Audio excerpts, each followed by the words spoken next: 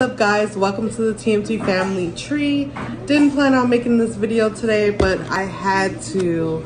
I saw this here all over instagram tiktok people doing reviews on this pickle de gallo so i saw it in our local grocery store. I was like let me go ahead and try it. So i already tried it last night. As you see it's open. But i'm still gonna you my honest review nothing has changed uh, but the day. So this is what it looks like. So it is chopped up pickles, onions, peppers.